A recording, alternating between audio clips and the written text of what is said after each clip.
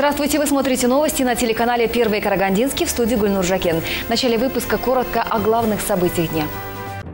Круглосуточно продолжается поиск пропавших братьев в Каркаролинском районе. В поисковых работах задействованы значительные силы и средства департамента по чрезвычайным ситуациям.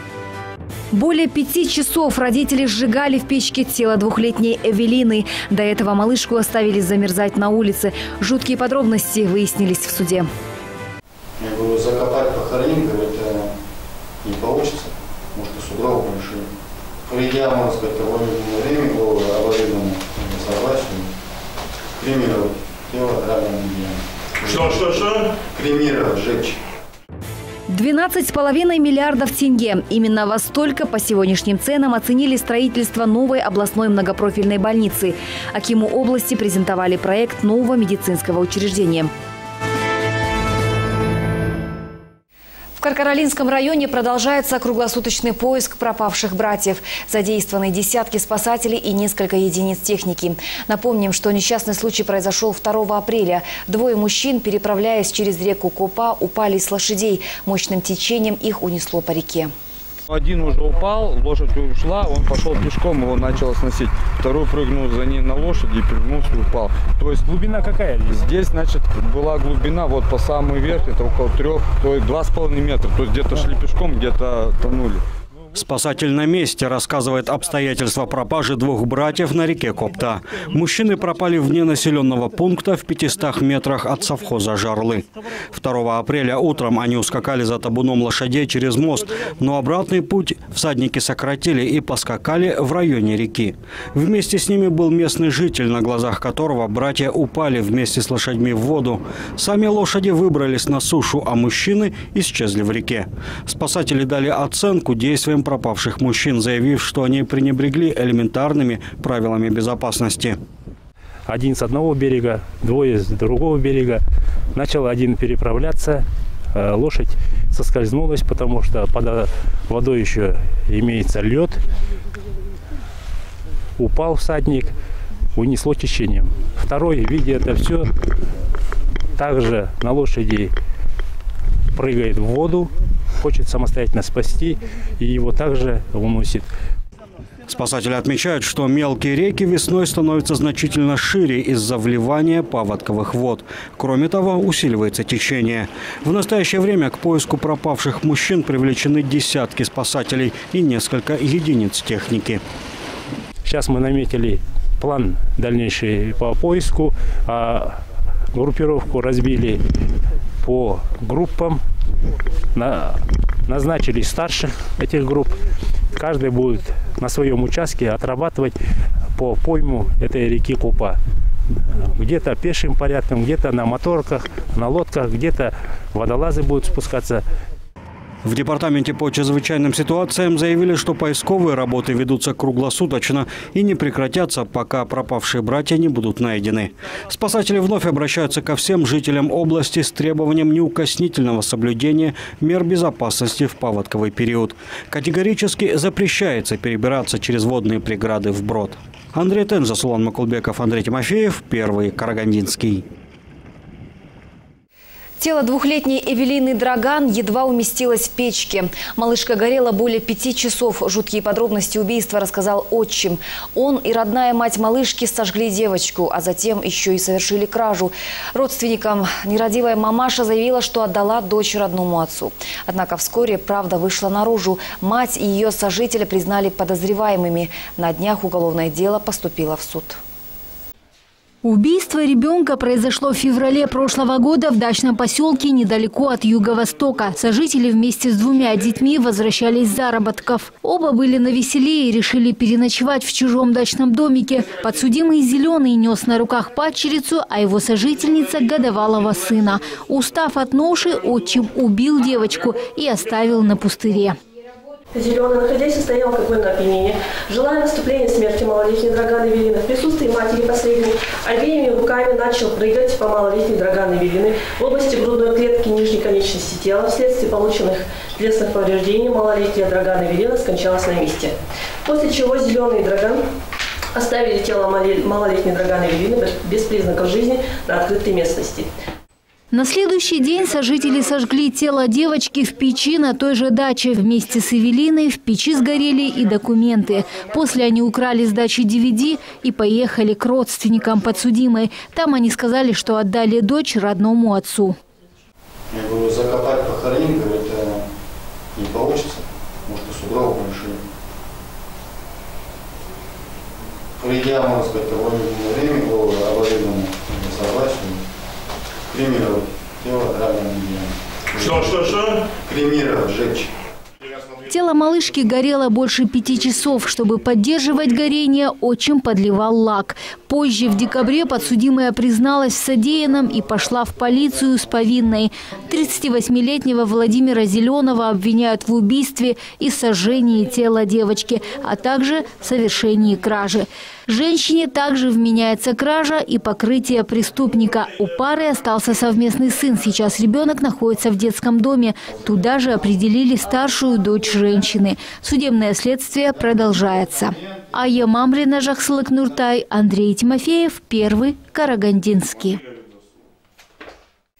Фотографии ребенка попрошайки, привязанного веревкой к столбу, взбудоражили жителей города.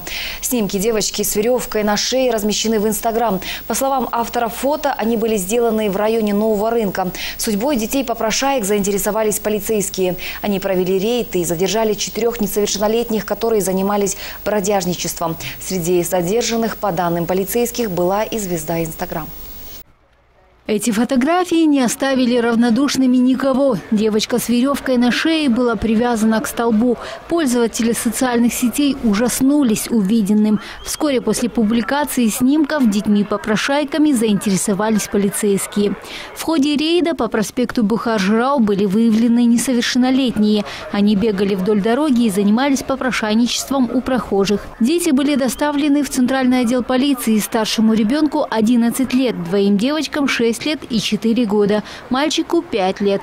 Дети своих полных анкетных данных и адрес дать не смогли. В одной из задержанных девочек полицейские узнали привязанного к столбу ребенка. Несовершеннолетняя рассказала, что была привязана к столбу в шутку. Это была такая игра. При выяснении обстоятельств старшая девочка пояснила, что 4 апреля они ходили вдоль дороги с четырехлетней девочкой в районе рынка и просили деньги у прохожих. При этом пояснили, что их мать находилась в супермаркете, а они убежали. Далее младшая девочка нашла веревку и попросила, чтобы сестра завязала ей веревку. Таким образом они играли, бегали вдоль дороги. В это время к ним подошел мужчина и попросил их постоять, как он хотел сфотографировать, на что Последние отказались. Но после того, как мужчина предложил им 50 тенге, они согласились. В настоящее время несовершеннолетние дети будут определены в Центр адаптации несовершеннолетних города Тимиртау Карагандинской области. Личность автора фотографии устанавливается. Теперь домом для задержанных несовершеннолетних станет Тимиртауский центр адаптации для несовершеннолетних. Личность автора фотографии устанавливается. Аем Амрина Жаксылык Нуртай, Андрей Тимофеев, Первый, Карагандинский. К другим новостям. 12,5 миллиардов тенге. Именно во столько по сегодняшним ценам оценили строительство новой областной многопрофильной больницы. Строительство намечено на 2019 год. 5 апреля Аким Карагандинской области Ерлан Кушанов посетил ряд объектов здравоохранения Караганды, среди которых областной центр крови и уникальный реабилитационный центр «Луч». В рамках объезда главе региона был презентован проект строительства областной многопрофильной больницы на юго-востоке города. Это макет новой областной многопрофильной больницы, которая уже через несколько лет будет возведена на юго-востоке Караганды. Впервые о необходимости строительства нового медицинского учреждения заговорили в далеком 1991 году. В 2008 приступили к реализации. Проектно-сметную документацию разработала компания «Шимкент Граждан Проект». Во время презентации Акима области было отмечено, что аналогов этой больницы нет. Э, проект отличный, во многом отличается от аналогичных проектов в Казахстане. Нет, вновь построена и оптимальная кубатура, оптимальная квадратура. Изначальная стоимость строительства больницы оценивалась в 7,5 миллиардов тенге. После девальвации сумма возросла. В настоящее время из местного бюджета выделены средства для актуализации проектно-сметной документации. А в следующем году а, будут начаты э, значит, переговоры в отношении выделения средств республиканского бюджета. Я думаю, что во второй половине 2018 года возможно будет начало, ну, в 2019 году это точно. Сегодня вот глава региона сказал, что этот проект должен быть реализован и приложим все усилия для его реализации. Под строительство многопрофильной больницы выделено 8 гектаров земли недалеко от областного центра переливания крови. В будущем эти учреждения образуют медицинский кластер. Ознакомившись с проектом, глава региона дал поручение приложить все усилия для его реализации. В этот же день глава региона посетил нейрореабилитационный центр «Луч». Здесь реализуются современные методы реабилитации пациентов с различными заболеваниями нервной системы, в том числе таких как инсульт, инфаркт головного мозга, болезнь Паркинсона, рассеянный склероз. Герлану Кушанову продемонстрировали зону эрготерапии, оснащенную специальным оборудованием, в том числе наборами для развития мелкой моторики. Далее он побывал в зале лечебной физкультуры, оборудованном подвесными слим-системами, имитаторами ходьбы, ходьбы, механоаппаратами для разработки нижних и верхних конечностей. После глава региона осмотрел тренажерный зал, посетил физиокабинет и водолечебницу. Стоит отметить, что реабилитационный центр был открыт два месяца назад в рамках государственно-частного партнерства.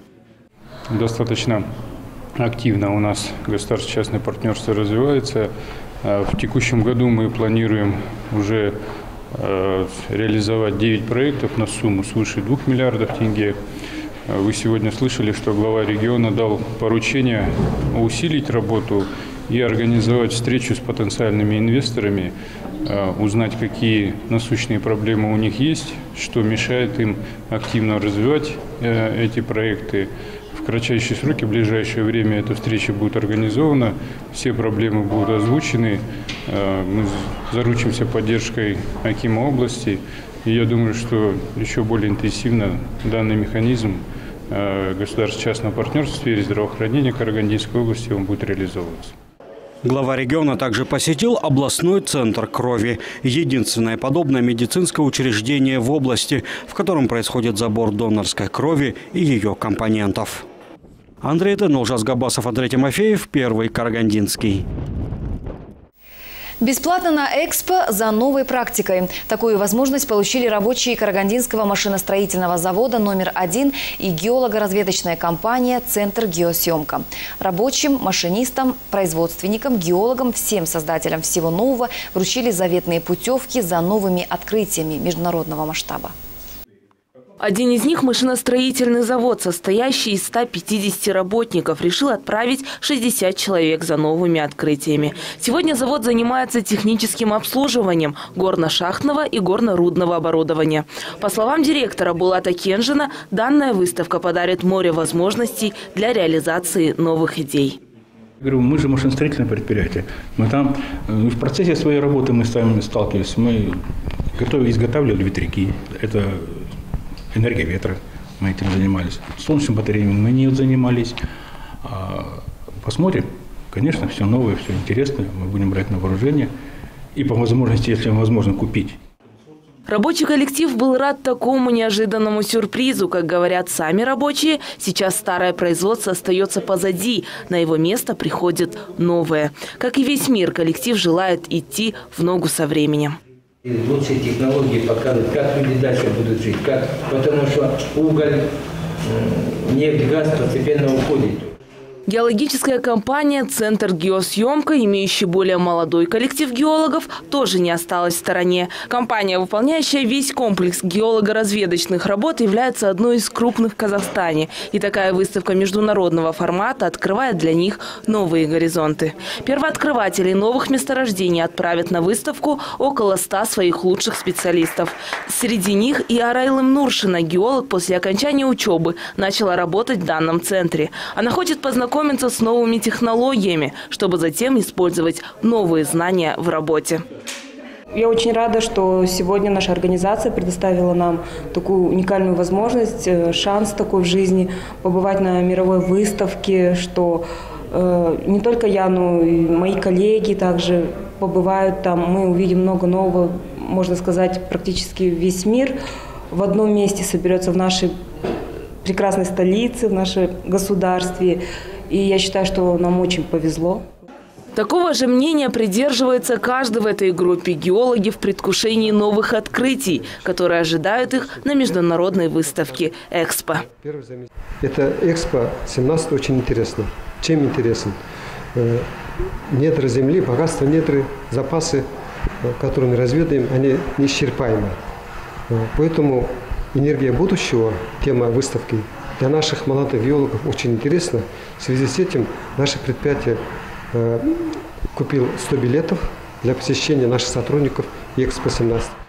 По словам руководителей, если количество желающих побывать на выставке возрастет, то специально для них будут приобретены дополнительные билеты. Фариза Улбаева, Улжас Габасов, Андрей Тимофеев. Первый Карагандинский. 40-летнюю свалку ликвидировали на улице Орлова. В нынешнем году выделены деньги на ликвидацию несанкционированных свалок в районе имени Казбекби. В основном стихийные помойки находятся в частном секторе. По мнению чиновников, главные организаторы свалок – местные жители. Все подробности далее в выпуске.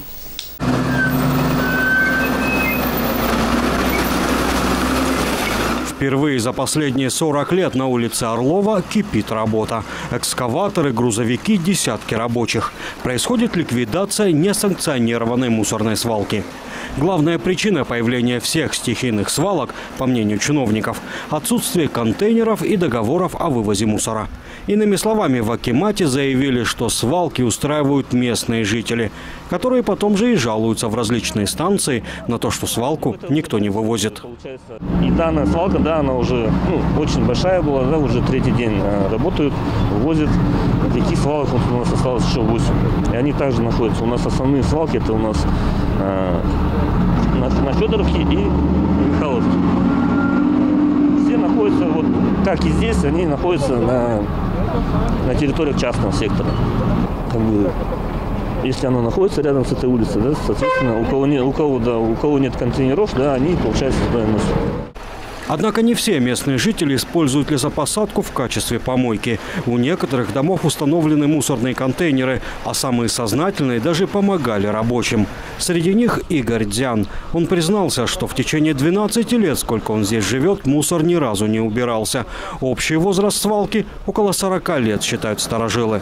Чиновники призывают всех владельцев домов устанавливать контейнеры и заключать договора. Но не каждому это посредством. Вот я вчера с людьми разговаривал, многие пенсионеры, ну как пенсионерка может поставить себе контейнер за 40 тысяч? Она никогда не сможет поставить. Она говорит, мы готовы платить деньги, оплачивает это все. Но пускай контейнеры поставят, мы будем платить по квитанциям, как положено. Оплачивать, чтобы мусор вывозили. Ну и чтобы этой свалки не было. Чтобы вот так чисто и красиво у нас было здесь на Федоровке. Акимат района Казабекбей не намерен просто вывести весь мусор. Создана специальная мобильная группа из числа работников Акимата и местной полицейской службы. Группа намерена проводить подворовой обход с разъяснением о недопустимости выбрасывания мусора, где попало. На сегодня в Казабекбийском районе уже ликвидировано 4 стихийные свалки мусора. Всего в этом году определено 12 участков. Андрей Тен, Исламбек Успан, Андрей Тимофеев, Первый Карагандинский. Работа государственных органов не меняется в положительную сторону. На судебных заседаниях обвинители и специально приглашенные специалисты не знают законодательства. Юристы появляются в суде неподготовленными. 330 дел государственных органов, рассмотренных в суде, отправлены на пересмотр. Такие данные привел заместитель прокурора Карагандинской области Нуркен Жанахметов на специальном совещании в областной администрации. За последние два года государственные органы стали чаще проигрывать в судебных заседаниях. Причиной этому является несоблюдение законодательства. По словам прокуроров, такие нарушения часто встречаются в работе отделов здравоохранения и образования. Неподготовленность юристов к судебным встречам приводит к отложению судебных актов, что приводит к лишним материальным затратам государственного бюджета. Наша задача не только э, учинять спрос либо э, повышать требовательность. Это в духе программы перемен, разработанной под, и по инициативе генерального прокурора. Это доступность и прозрачность прокуратуры, как прокуратура для народа. Тем самым мы оказываем посильную помощь в защите материальных интересов государства. Это самое главное. Их э, представляют сотрудники юридических служб, За последние два года незаконное выполнение государственного закупа и неоплата со стороны должников выросли до 1300 случаев. Более 40 случаев в местных исполнительных органах, 23 в здравоохранении, 15 в образовании и 4 в правоохранительных органах. Поступают также заявления о недобросовестности в оплате коммунальных услуг. Более точно говоря, по исковым заявлениям множество фактов встречается. Во-первых, не указывают, какая сумма должна быть взыскана, за какой период. Не могут это все уточнить и в судебном заседании. Не представляются доказательства оплаты этих сумм.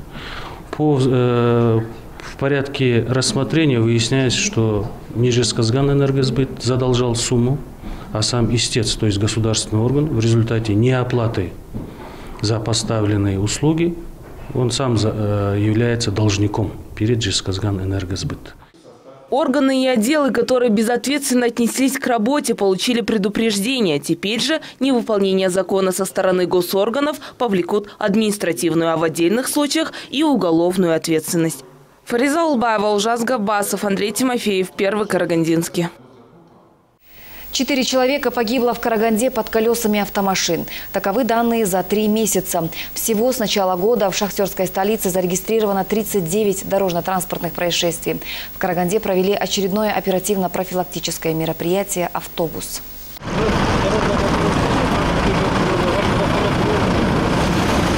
Для сокращения количества аварий с участием пассажирского транспорта в Караганде провели профилактическое мероприятие «Автобус». Такую работу полицейские проводят регулярно, поскольку в дорожно-транспортных происшествиях с участием общественного транспорта травмируется большое количество людей. Проводят усиленные отработки по общественному транспорту. Также отработки э, ведут на линии сотрудники полка. Э, также и на конечных остановках общественного транспорта. Э, в свою очередь, сотрудники отдела административной полиции УВД города Караганды э, в рамках мероприятия проводят профилактические беседы, лекции, встречи э, с водительским составом, с руководителями автопарков. За административные нарушения водителям придется поплатиться штрафом от 10 до 20 месячных расчетных показателей. Но главная задача полиции, по словам Алмаса Жакенова, не привлечь к ответственности, а предупредить правонарушения. Водители, которые стали невольными участниками рейда, имеют по этому поводу другое мнение.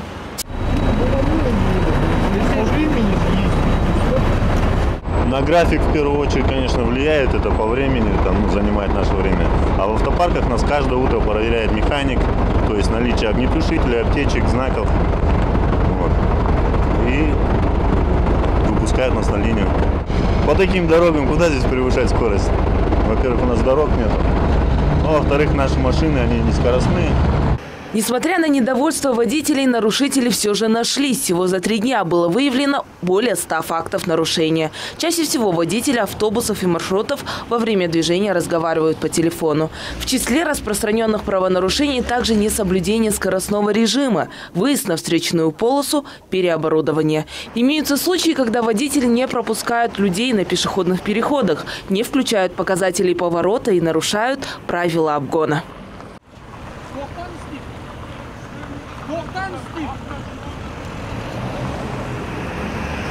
Стоит отметить, что после предъявления нарушения автобус продолжает движение до конечной станции. И лишь на последней остановке сотрудники полиции составляют протокол. Фариза Улбаева, Улжас Габасов, Андрей Тимофеев, Первый Карагандинский. Это были все новости на сегодня. Спасибо за внимание. Если у вас есть интересная информация, звоните нам по телефону 42 06 49 и смотрите наши новости на сайте канала. Всего доброго. Аман Саубалмустар.